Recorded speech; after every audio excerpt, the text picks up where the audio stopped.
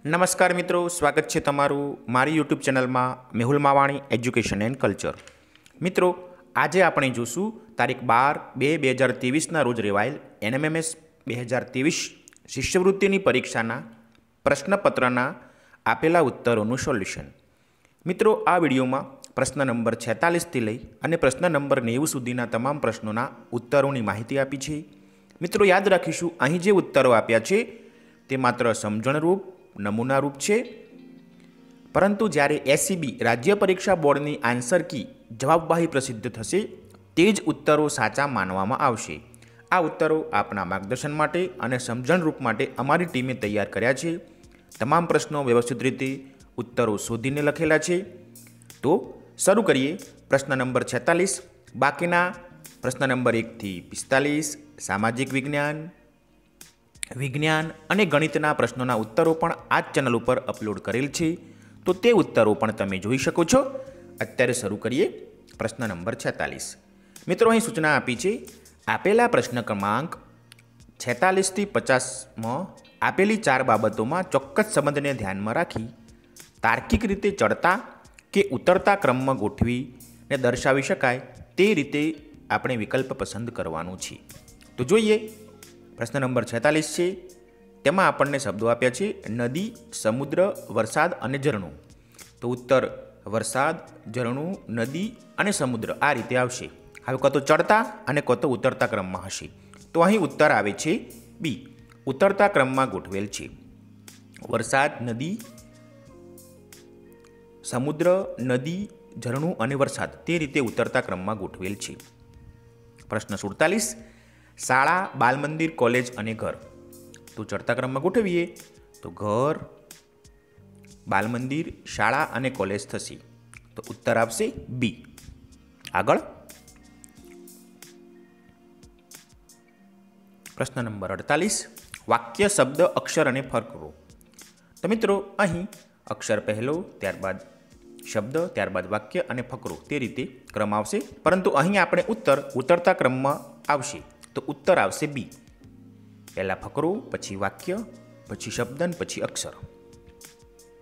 પ્રશ્ન નંબર ઓગણપચાસ, જિલ્લો, રાજ્ય, તાલુકો અને દેશ. તો પહેલો તાલુકો, પછી જિલ્લો, રાજ્ય અને દેશ. તે રીતે થશે ક્રમ. પરંતુ અહીં આપણે ઉત્તર ઉતરતા ક્રમમાં આવે છે. એટલે કે ઉત્તર આવશે સી. પહેલાં દેશ, પછી રાજ્ય, પછી જિલ્લો અને તાલુકો. પ્રશ્ન પચાસ તો મિત્રો, અહીંયા આપણે દાખલા ગણવાના છે પહેલા પ્રશ્નનો ઉત્તર એક, બીજાનો બે, ત્રીજાનો છ અને ચોથાનો એક દ્વિતીયાંશ આવશે. તો ઉત્તર આવે છે ડી ચડતા ક્રમમાં ગોઠવવાના છે. તો આ રીતે મિત્રો અહીં પાંચેય પ્રશ્નો ઉત્તર વ્યવસ્થિત ગોઠવી, કાં તો ચડતા ક્રમમાં હશે, કાં તો ઉતરતા ક્રમમાં હશે. હવે આગળ. પ્રશ્ન નંબર એકાવનથી પંચાવનમાં મિત્રો ચિહ્નો બદલી અને આપણે દાખલો ગણવાનો છે. તો એકાવન નંબરનો જે પ્રશ્ન છે તેનો ઉત્તર આવશે ચાર. ઉપર મિત્રો ચિહ્નો બદલીને તૈયાર જ રાખ્યા છે, તમે દાખલો ગણી શકો છો. પ્રશ્ન નંબર બાવન છે, તેનો ઉત્તર આવશે ઓછા એક ડી પ્રશ્ન નંબર ત્રેપન છે, તેનો ઉત્તર આવશે સિત્તેર. એટલે કે ડી નંબરનો ઓપ્શન આગળ. પ્રશ્ન નંબર ચોપન છે, તેનો ઉત્તર આવશે બી દસ. અને પ્રશ્ન નંબર પંચાવન છે, તેનો ઉત્તર આવશે સી છ. તો આ રીતે પાંચેય પ્રશ્નો જ્યાં જ્યાં ચિહ્નો બદલવાના છે, તે બદલી અને ઉત્તરો શોધી શકાય. હવે આગળ. આપેલ પ્રશ્ન ક્રમાંક છપ્પનથી પાસઠમાં આપણે યોગ્ય સંખ્યા શોધવાની છે, એટલે કે પેટર્ન પકડવાની છે. તો પ્રશ્ન નંબર છપ્પન છે, તેની પેટર્નનો ઉત્તર આવશે બી તેર અને બાવીસ. પ્રશ્ન નંબર સત્તાવન છે, તેનો ઉત્તર આવશે એકસો ચુમ્માલીસ. પ્રશ્ન નંબર અઠ્ઠાવન છે, તેનો ઉત્તર આવશે સી બસો ને છપ્પન. પ્રશ્ન નંબર ઓગણસાઠ છે. તેનો ઉત્તર આવે છે તેતાલીસ. બી તેતાલીસ. પ્રશ્ન નંબર સાહીઠ છે. તેનો ઉત્તર આવે છે સાહીઠ. એ સાહીઠ. એકસઠ નંબરનો પ્રશ્ન છે મિત્રો, તેનો ઉત્તર આવે છે એ બોતેર પ્રશ્ન નંબર બાસઠ છે. તેનો ઉત્તર આવે છે બી બાસઠ. આગળ. પ્રશ્ન નંબર ત્રેસઠ છે. તેનો ઉત્તર આવે છે સત્યાવીસ. પ્રશ્ન નંબર ચોસઠ છે. તેનો ઉત્તર આવશે સોળ. પ્રશ્ન નંબર પાસઠ છે, તેનો ઉત્તર આવે છે બી, છ. તો આ રીતે મિત્રો, આ તમામ પેટર્ન અને તેના ઉત્તર આવે છે. સમય મળે, આપણે આ તમામ પેટર્નનો કેવી રીતે ઉત્તર આવે છે તેનો વીડિયો પણ જોઈશું. આગળ. હવે મિત્રો, અહીં આપણને આકૃતિ આપેલી છે. પ્રશ્ન નંબર છાસઠથી લઈ સિત્તેર વચ્ચે આકૃતિમાં કેટલા ત્રિકોણ છે તે આપણે શોધવાના છે. તો પ્રશ્ન નંબર છાસઠની આકૃતિ છે, તેનો ઉત્તર આવશે બી, સોળ. અહીં સોળ ત્રિકોણ છે. પ્રશ્ન નંબર સડસઠ છે, તેની મિત્રો આકૃતિ છે, તેના ત્રિકોણ આવશે એ સોળ. પ્રશ્ન નંબર અડસઠ, પતંગ આપેલું છે અને તેમાં ત્રિકોણ ગણવાના છે, તો તેના ત્રિકોણ આવશે ડી સોળ. પાછળ જઈએ. પ્રશ્ન નંબર ઓગણસિત્તેર છે, તેમાં મિત્રો આપણને બે ચોરસમાં ત્રિકોણ આપ્યા છે, તો ત્રિકોણ ઉત્તર આવશે સી સોળ. અને સિત્તેરમાં નંબરનો પ્રશ્ન છે મિત્રો, તેમાં પણ ઉત્તર આવે છે ડી સોળ. આમ, પાંચે પાંચ ત્રિકોણમાં જે ગણતરી કરવાની છે, તેના તમામ પ્રશ્નોના ઉત્તર સોળ આવે છે. આગળ વધીએ.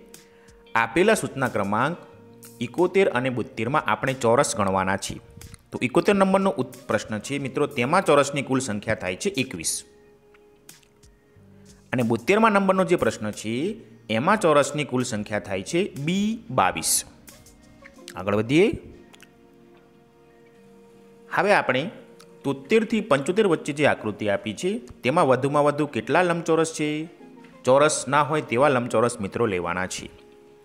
તો પ્રશ્ન નંબર તોતેર છે, તેનો ઉત્તર થાય છે દસ. બી દસ.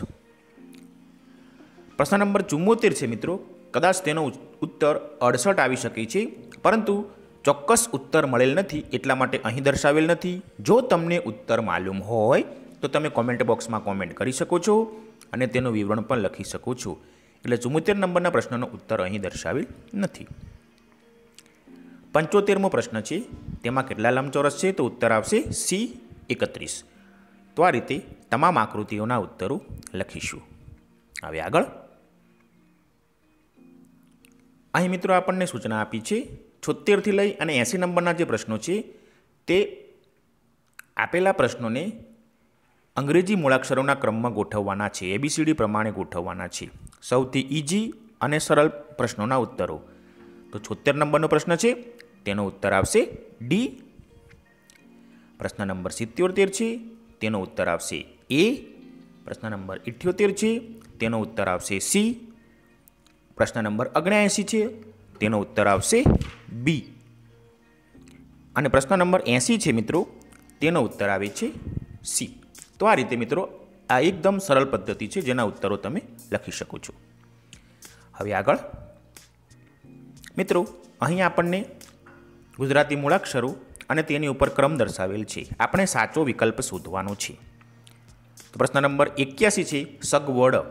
તો તેનો ઉત્તર આવશે સી સુડતાલીસ તેર. પ્રશ્ન નંબર બ્યાસી છે. વડ વત્તા દર. તો ઉત્તર આવે છે ચોર્યાસી. એ ચોર્યાસી. તમે વન અને દરની ઉપરના અંકો ગોઠવશો અને સરવાળો કરશો તો ઉત્તર ચોર્યાસી થશે. પ્રશ્ન નંબર ત્યાસી. રણ ઓછા જળ. તો ઉત્તર આવશે પંચોતેર. બી પંચોતેર. ચોર્યાસી. દસ ઓછા નવ. તો ઉત્તર આવે છે વડ. ડી વડ. અને પંચ્યાસીમાં નંબરનો પ્રશ્ન છે મિત્રો. તેમાં સાચું નથી એ શોધવાનું છે. તો ઉત્તર આવશે સી, વરસ લેસ દેન ગ્રેટર દેન ન તો મિત્રો, આપણે સી નંબરનો ઓપ્શન છે તે ખોટું છે. તો એ રીતે દર્શાવીશું. હવે આગળ. મિત્રો, અહીં પ્રશ્ન નંબર છ્યાસીથી લઈ અને નેવું વચ્ચેના તાર્કિક પ્રશ્નોને ઉતરતા ક્રમમાં ગોઠવવાના છે. તો મિત્રો, અહીં છ્યાસીમાં નંબરનો પ્રશ્ન છે, તો ભારતના રાજ્યો કેટલા થશે? તો આપણે લખીશું અઠ્યાવીસ, ભારતના કેન્દ્ર શાસિત પ્રદેશો આઠ, ભૂમિખંડો સાત અથવા તો ભાઈ યુરોપ અને રશિયા, એશિયા જેવા ખંડો જોડી દે તો પાંચ ગણીશું, ગુજરાતના જિલ્લાઓ તેત્રીસ. હા, મિત્રો, અહીં જે ઉત્તર છે તે કાં તો બી આવી શકે છે અને કાં તો ડી આવી શકે છે. એટલે બંને ઉત્તરો અહીં ટીક કરેલા છે. પરંતુ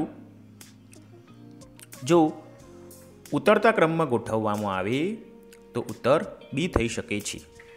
અને જો ચડતા ક્રમમાં ગોઠવવામાં આવે, તો ઉત્તર ડી થઈ શકે છે. પરંતુ તેમાં કેન્દ્ર શાસિત પ્રદેશો અને ભૂમિખંડોની સંખ્યા વચ્ચે વિસંગતતા રહેશે. એટલે બી અને ડી બંને દર્શાવેલ છે. આગળ. પ્રશ્ન નંબર સિત્યાસી છે મિત્રો. અહીં જે ઉત્તર આપ્યું છે, તે ઉત્તર ખરેખર ચડતા ક્રમમાં હોઈ શકે છે. એટલા માટે ઓપ્શન આપ્યું છે એ. પરંતુ જ્યારે આન્સર કી પ્રસિદ્ધ થશે, ત્યારે આપણને સાચો ઉત્તર ખબર પડશે. પ્રશ્ન નંબર અઠ્યાસી છે જ્ઞાન, ક્ષત્રિય, કંતાન અને શરણ શબ્દકોશના ક્રમના આધારે ગોઠવવાનો છે. તો ઉત્તર આવે છે સી. અને પ્રશ્ન નંબર નેવ્યાસી છે મિત્રો. તેનો ઉત્તર આવે છે એ. ઉતરતા ક્રમમાં આ પેટર્ન ગોઠવાઈ જાય છે. કેલેન્ડરમાં જોશું તો તે પ્રમાણે આપણે તહેવારો ગોઠવવાના છે. અને પ્રશ્ન નંબર નેવું છે. તેનો ઉત્તર આવે છે ડી. તો આ રીતે મિત્રો પિસ્તાલીસથી છેતાલીસથી લઈ અને નેવું પ્રશ્નોના ઉત્તરો અહીં તમને દર્શાવેલા છે.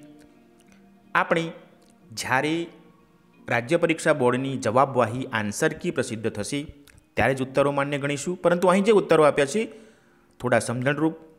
તમે માહિતગાર થાવ તે માટે અમારી ટીમે શ્રેષ્ઠ પ્રયત્ન કરીને આ ઉત્તરો દર્શાવેલા છે. આશા રાખું છું કે તમને આ ઉત્તરો ગમ્યા હશે અને તમને માર્ગદર્શનરૂપ બન્યા હશે. બાકીના પ્રશ્ન નંબર એકથી પિસ્તાલીસ ગણિત, વિજ્ઞાન અને સામાજિક વિજ્ઞાનના તમામ ઉત્તરો આ ચેનલ ઉપર અપલોડ કરેલ છે. તો મિત્રો, તમે પણ તે પ્રશ્નો જોઈ શકો છો. તમારો ખૂબ ખૂબ આભાર.